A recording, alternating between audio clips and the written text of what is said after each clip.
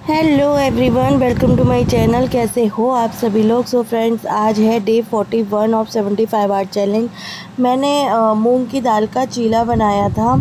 दाल दो दिन पहले की रखी हुई थी तो भीगी हुई। तो उसी का मैंने चीला बना लिया था, चटनी रखी हुई थी, साथ में बनाई थी चाय। हस्बैंड ने, बच्चों ने, सबने मैगी खाया था, क्यों खाया था, उसका आपको आगे पता चलेगा। हेलो एवरीवन मॉर्निंग से बस एक छोटी सी क्लिप देखी थी मैंने नाश्ते में। क्या लिया? अभी शाम को भी, अभी शाम का समय हो रहा है, चार, साढ़े चार बजे। मैंने वही दो चीले और बनाकर अभी खाए थे, दही से और हस्बैंड और बच्चे अपने लिए बाहर से लेकर आए थे और सुबह में भी मैगी बनाकर उन लोगों ने खाया, क्योंकि मेरी हिम्मत ही नहीं हो रही थी कुछ काम करूँ। और क्या कहते हैं, कल से मेरी तबीयत बहुत ज़्यादा ख़राब थी, मेरे को इतनी इचिंग हो रही थी पूरी बॉडी में। कल मैं पूरी रात सोई नहीं हूँ। और मॉर्निंग में मैं साढ़े तीन, चार बजे करीब तक मैं क्या कहते हैं इचिंग इचिंग इचिंग यही करती रही। उस चीज़ में ना सोए चैन ना लेटे, चैन ना बैठे, चैन ना उठे, चैन कैसे भी चैन, नहीं, पूरी बॉडी में इचिंग हो रही थी।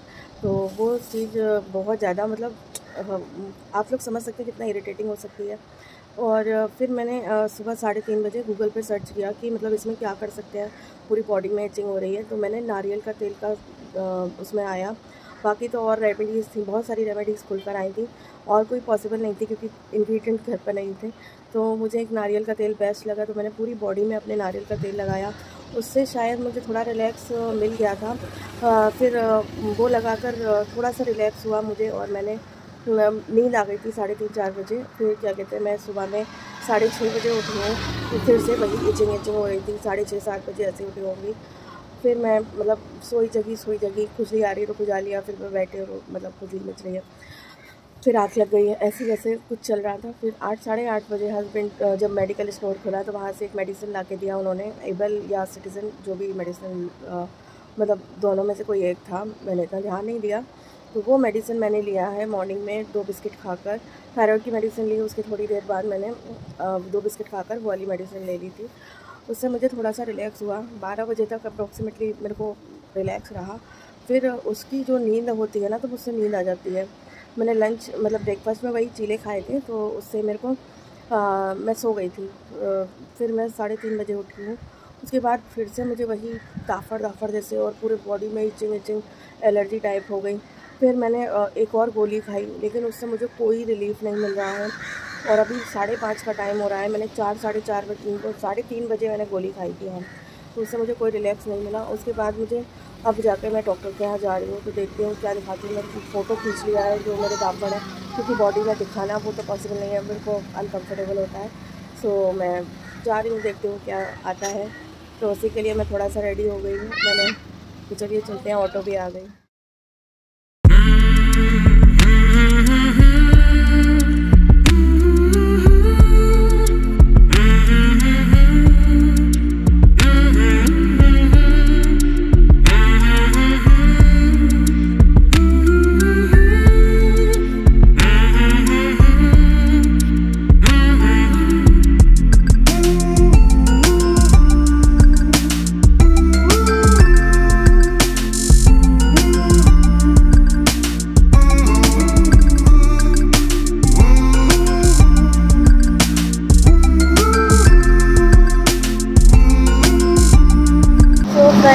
लग गई है।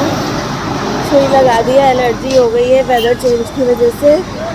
दैट्स वाई तो चलो चलते हैं थोड़ा। एक्सप्लोर भी करते हैं मार्केट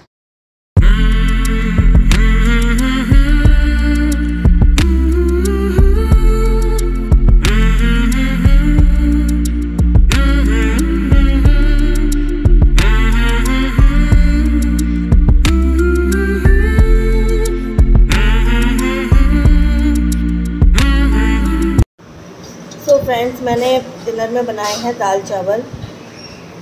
वहीं मैं खा रही हूँ, मैं खाना स्टार्ट कर चुकी थी ऑलरेडी तो मैंने कहा आप सभी के साथ मैंने शेयर नहीं किया, मैंने तुअर की दाल बनाई है।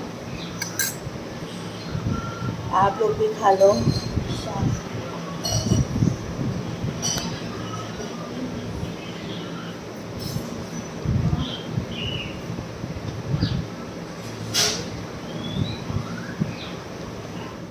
फ्रेंड्स हमारा खाना पीना हो गया है तो मैंने इंजेक्शन लिया, उसके बाद में मुझे थोड़ा रिलैक्स हो गया था, फिर मैंने घर का थोड़ा बहुत काम किया।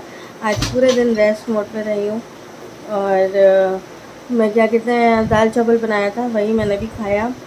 तो ऐसे जैसे हम लोगों ने आज अपना दिन निकाला। तो फ्रेंड चलिए इस ब्लॉग को मैं यहीं पर एंड करती हूँ। आई होप आपको पसंद आने लायक तो इस ब्लॉग में कुछ नहीं था, फिर भी लाइक शेयर एंड कमेंट कर देना।